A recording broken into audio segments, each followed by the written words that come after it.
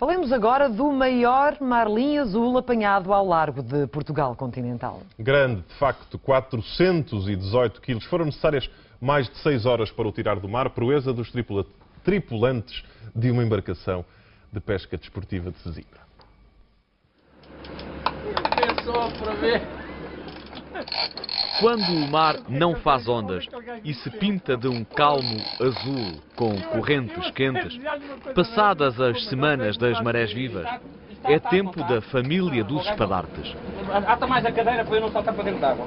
Ficado o isco, a luta é entre o homem e o peixe, num jogo de persistência, avanços e recuos na linha e muito suor. Olha, filma-me lá o rabo, olha, filma-me lá o rabo, olha, quer dizer, olha, olha, olha.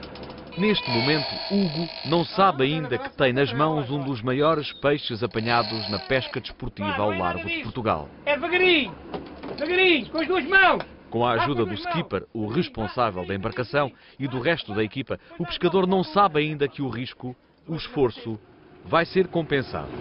Estás a filmar? Esta filmagem é interrompida com a noite.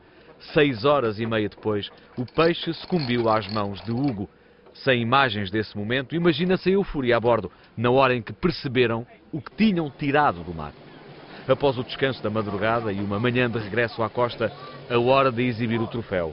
O mais sonhado troféu da pesca desportiva oceânica. Tudo a força de braço, a única coisa que se fez foi marcha avante e à ré para conseguir puxar um bocado.